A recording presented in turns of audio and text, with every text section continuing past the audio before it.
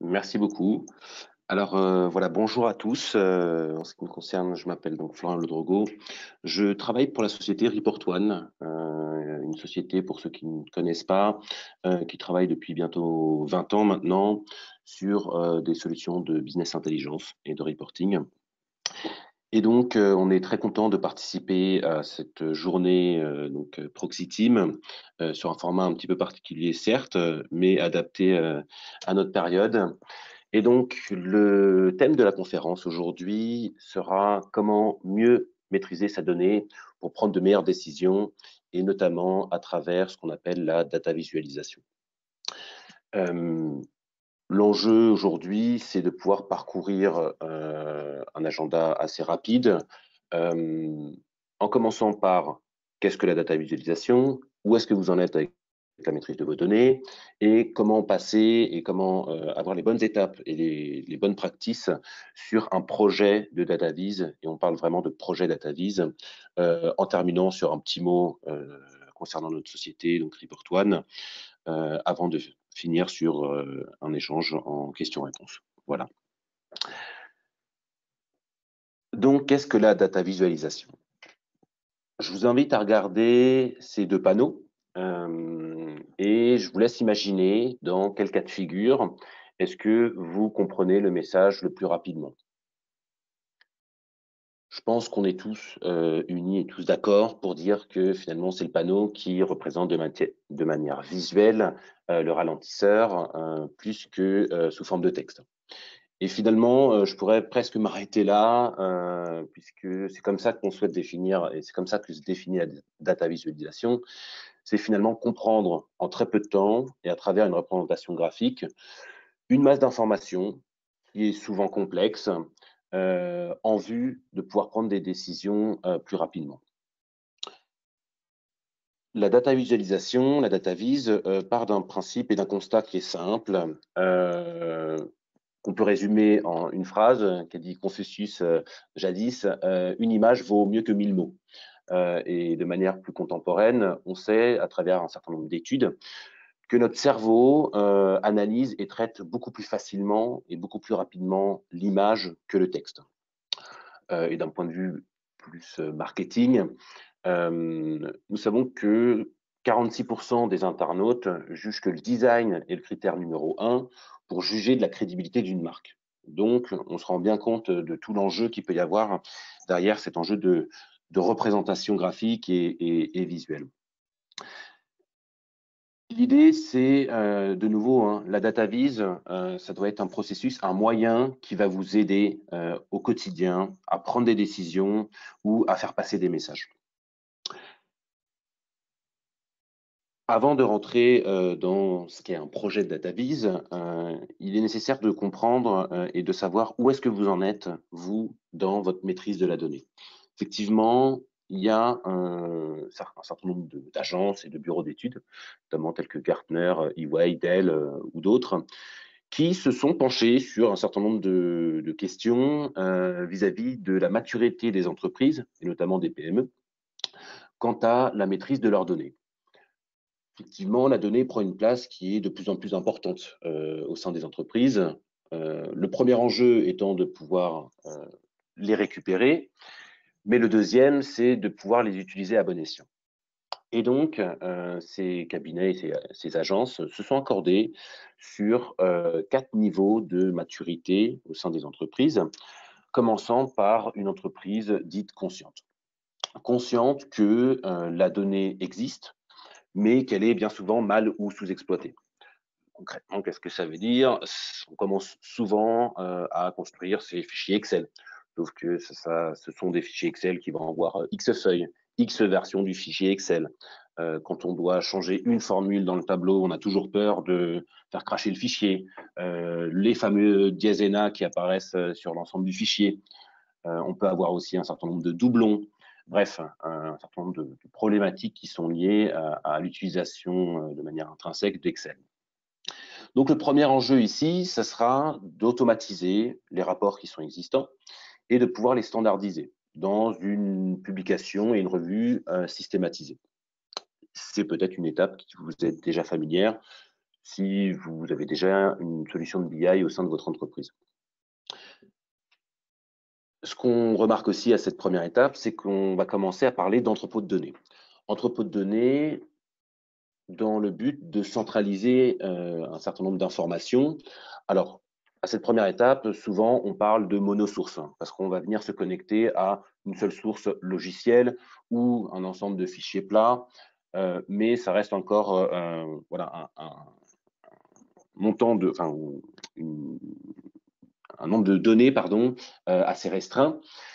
Mais ça s'applique très souvent, c'est ce qu'on a remarqué nous depuis 20 ans, à la direction financière ou le contrôle de gestion tout simplement parce que ce sont des services qui sont plus friands finalement de, Excel que d'autres. Pour passer à l'étape suivante, à une entreprise dite active, c'est lorsque on va commencer à étendre l'ensemble de ces pratiques à un ensemble de services. Alors ça peut être marketing, ça peut être commerce, ça peut être le service client, la production, finalement autant de services que peuvent composer une entreprise. L'entrepôt de données, lui, commence à s'élargir parce qu'on euh, n'est plus monosource, mais multisource. On va commencer à connecter justement ben, l'ensemble des données de l'ensemble de ces services et de pouvoir les unifier, les croiser, évidemment les sécuriser. Et on assiste à ce qu'on appelle une démarche d'amélioration des processus métiers. Euh, concrètement, c'est des vocabulaires qui s'affinent, qui sont unifiés d'un service à l'autre, et donc fini, euh, j'ai envie de dire, l'exemple que je donne souvent, les discussions à rallonge pendant les comités de direction sur le chiffre d'affaires entre le directeur financier, par exemple, et le directeur commercial ou le directeur de, production. Chacun a sa vision euh, propre de, ce qu'est son chiffre d'affaires. Et donc, euh, ça, porte à des discussions parfois à rallonge, et donc on perd en efficacité. Peut-être que certains d'entre vous ont déjà atteint cette étape euh, dans la maîtrise de leurs données. Lorsqu'on souhaite arriver à la troisième étape euh, d'une entreprise dite avertie, on observe une extension des moyens d'analyse et de présentation des données, qui a pour bénéfice d'accélérer la prise de décision tactique, mais pas que. Ça peut être aussi la décision stratégique, euh, voire même des décisions qui sont opérationnelles. Alors c'est vrai que au départ, ça concerne quand même principalement le top management, mais lorsqu'on arrive à cette étape d'averti, euh, on commence à donner cette autonomie euh, de décision à un ensemble de collaborateurs au sein de l'entreprise. Et donc, votre entreprise gagne en agilité. Effectivement, les reportings, eux, euh, sont partagés et commentés en réunion, basés sur des données. L'entrepôt de données, lui, se complexifie et on appelle, enfin, ce qu'on appelle, il est déciloté. Euh, ce qui veut dire qu'il va, intégrer euh, des sources de données qui sont diverses et non plus que euh, logiciels. Ça va être logiciel, ça va être des fichiers plats, mais également des données qui peuvent provenir d'Internet. Une étape importante sur cette troisième étape, c'est l'apparition des premiers tableaux de bord. tableaux de bord peuvent être opérationnels ou stratégiques et qui sont composés d'un ensemble d'indicateurs de résultats, mais également de performances, qui sont ensuite comparés à des prévisions ou des objectifs. Et donc, c'est bien tout l'objectif finalement de cette démarche ici, que de fournir un ensemble euh, d'indicateurs à euh, un maximum de collaborateurs au sein de votre entreprise. Pourquoi? Tout simplement pour, euh, ben, d'une part, augmenter l'implication de chacun et de pouvoir donner l'autonomie décisionnelle à chacun. Et donc, les initiatives ne sont pas euh, désormais ne sont plus euh, uniquement du top management, mais euh, proviennent vraiment de, des équipes opérationnelles. De nouveau, votre entreprise gagne évidemment en efficacité, en agilité. Un exemple concret, c'est votre représentant commercial. il va avoir un tableau de bord avec les indicateurs nécessaires au suivi de son activité. Et donc, il va pouvoir piloter de manière ben, au mois, à la semaine, euh, voire même au jour, savoir où est-ce qu'il en est dans son chiffre d'affaires euh, qu'il doit réaliser, combien de rendez-vous est-ce qu'il a fait, combien est-ce qu'il doit en faire pour atteindre son chiffre d'affaires. Il va pouvoir prioriser euh, ses rendez-vous. Bref, c'est vraiment une aide du quotidien. Et enfin, la dernière étape, c'est lorsqu'une entreprise est dite data-driven. Alors, pas se mentir, aujourd'hui, je pense qu'il y a très peu d'entreprises dans le monde qui sont réellement data-driven à 100%, mais euh, il faut plus considérer ça comme un objectif ultime à atteindre. Et l'idée, c'est qu'on puisse euh, vous accompagner dans cette démarche-là. Et donc, une entreprise data-driven, c'est finalement une entreprise dans laquelle plus aucune décision n'est prise sans indicateur. Les résultats et les processus métiers sont parfaitement mesurés et maîtrisés. Et les tableaux de bord, eux, euh, sont à l'attention de chaque collaborateur. Chaque collaborateur aura son propre euh, tableau de bord qui sera unique puisqu'il aura les indicateurs euh, nécessaires au suivi de son activité. Et donc, chaque collaborateur, pardon, va pouvoir prendre ses propres décisions opérationnelles à l'instant T et donc de manière très réactive. Il a la possibilité également de pouvoir se définir un certain nombre d'alertes, ce qui aura pour bénéfice de réagir très rapidement.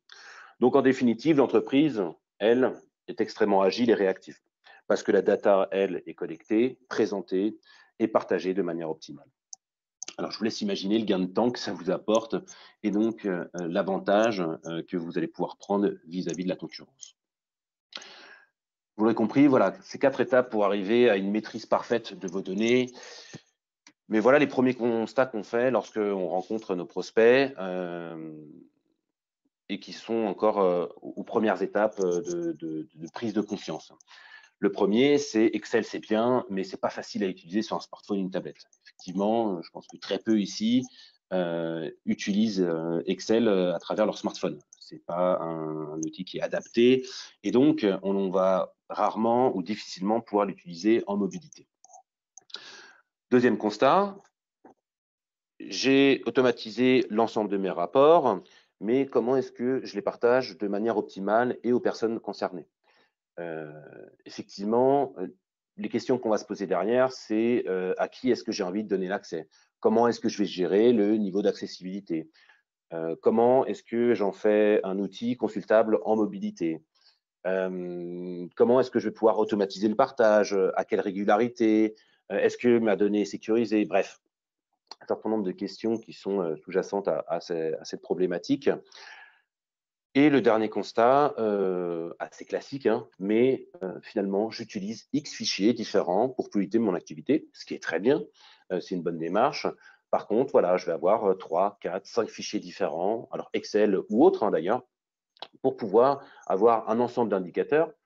Sauf que euh, bah, je vais devoir euh, basculer d'un fichier à l'autre pour avoir une vue d'ensemble. Donc, en termes de lisibilité, c'est plus compliqué.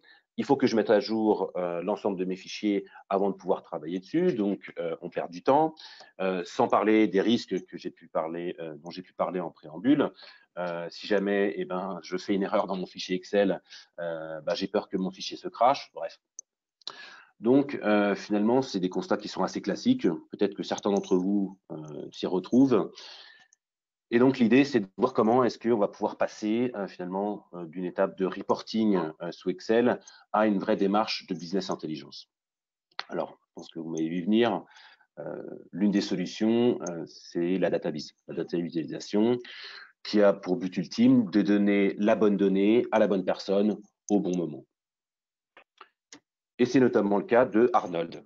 Arnold, c'est un PDG d'une PME de 150 personnes. Alors au début, eh ben, il a fait l'ensemble de ses constats. Euh, il devait travailler sur Excel. 37 personnes là, ça va plus. Euh.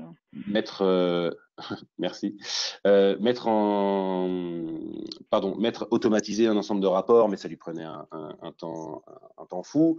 et surtout, comment est-ce qu'il partageait la donnée? Et donc un jour, il a décidé de s'équiper d'une solution de BI, notamment MyReport Business Evolution.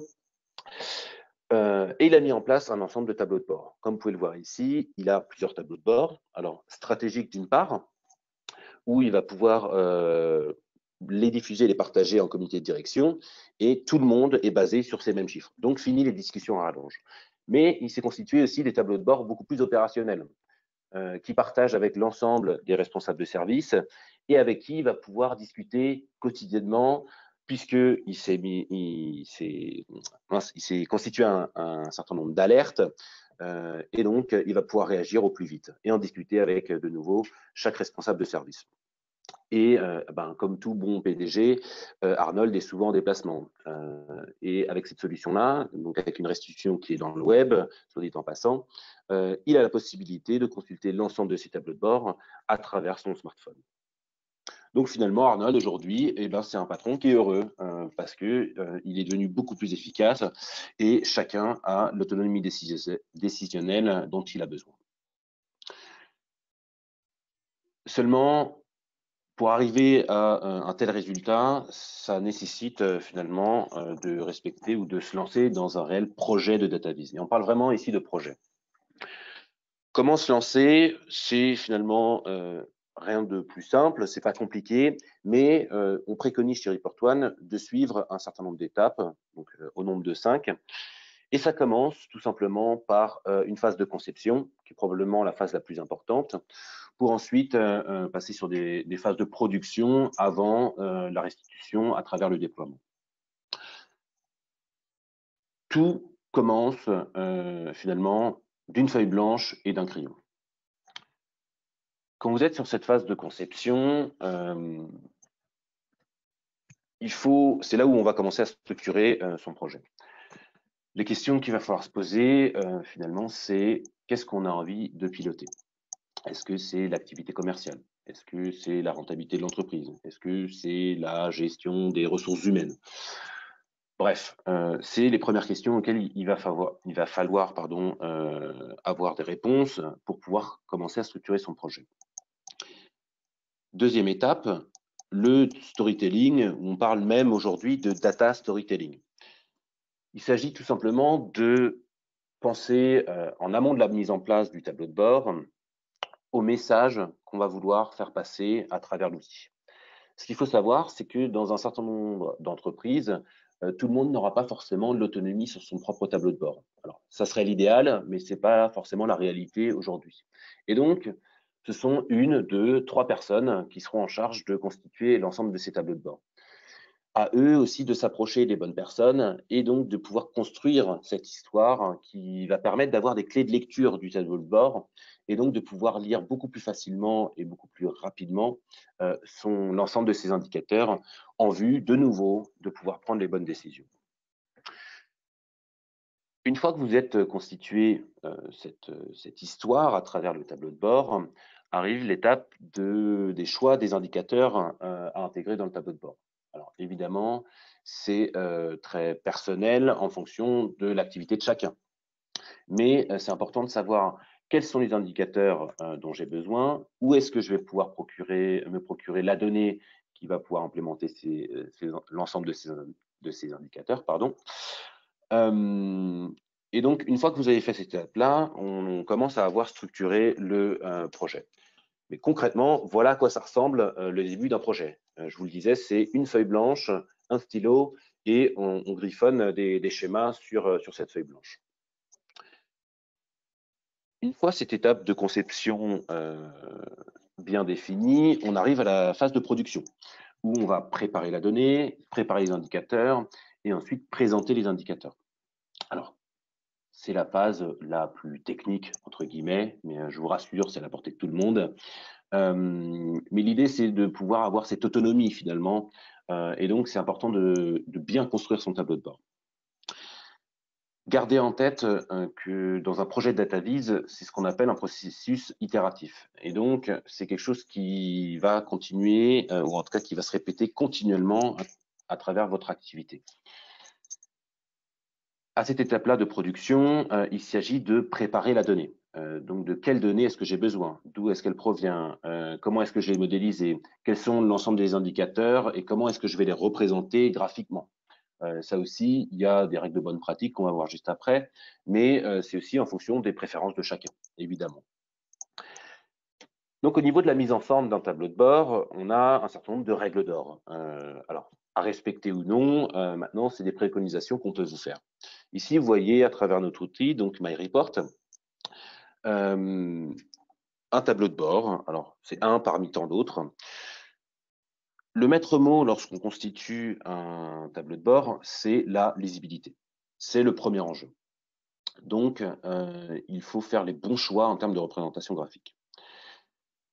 premier constat, ou en tout cas première règle d'or, c'est essayer autant que faire se peut de contenir l'ensemble des indicateurs sous une seule et même page et éviter de trop scroller parce que ben, on perd en termes de, lisibilité.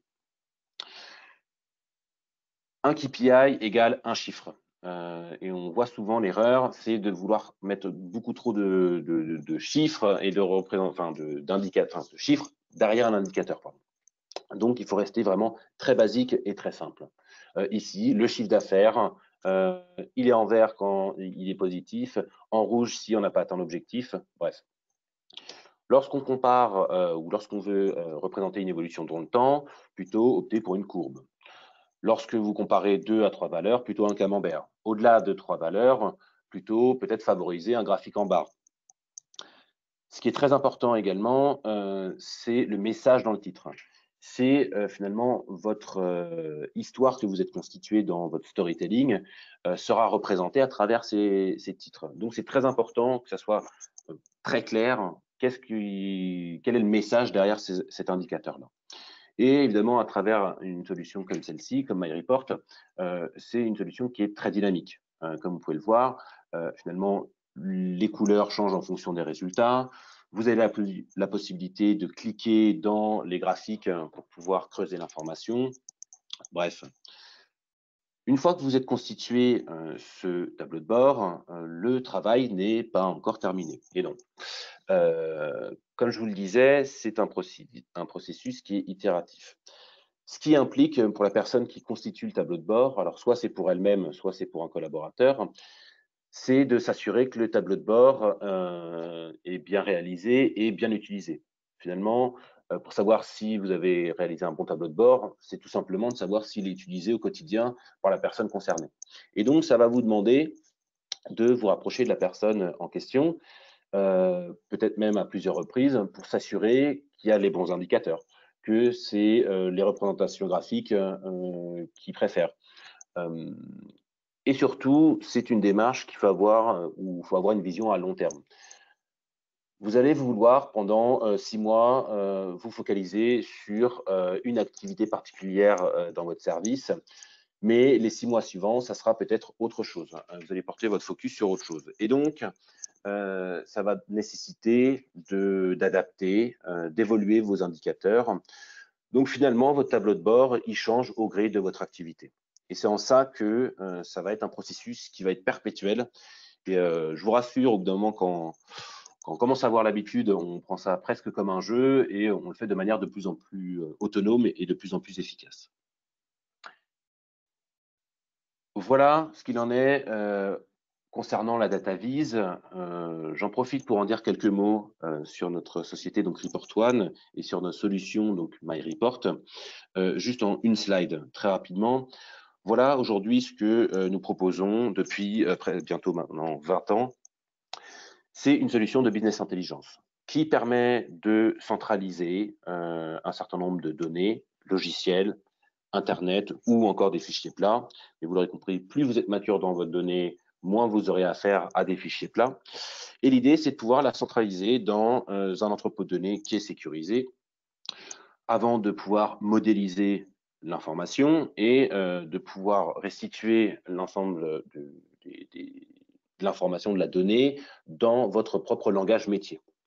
Euh, et donc également de pouvoir croiser l'ensemble des données, évidemment.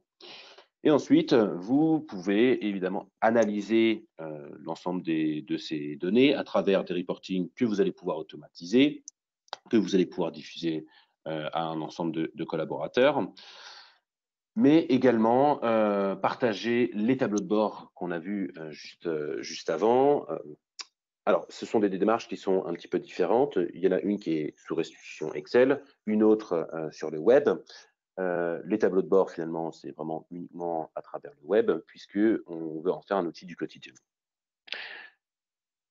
Avant le partage, il faut donc se constituer, il faut se créer ce tableau de bord rapide euh, vidéo pour vous montrer comment, à quel point c'est simple de créer son tableau de bord à travers MyReport.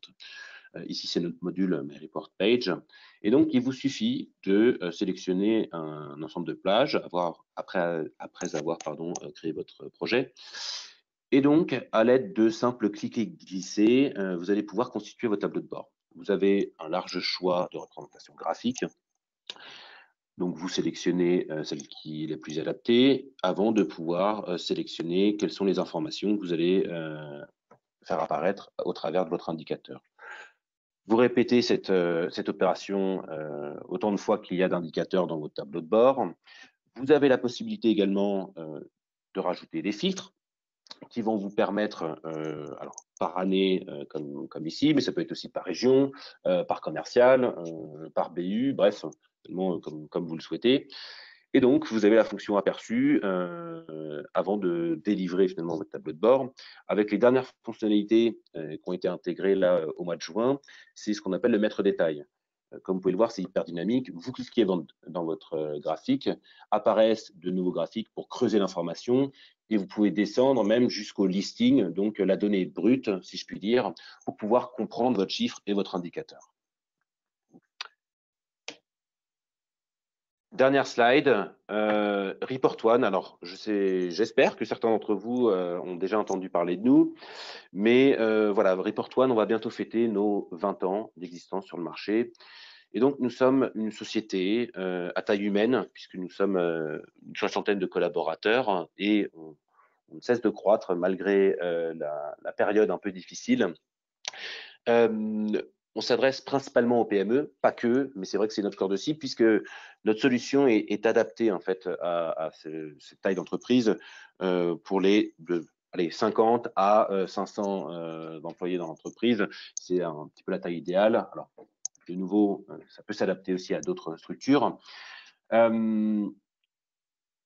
on a fait le choix euh, stratégique de s'appuyer sur un certain nombre de, partenaires euh, stratégiques tels que Apogea, euh, qui ont eux aussi cette connaissance pour pouvoir diffuser et transmettre notre produit, donc MyReport Business Evolution.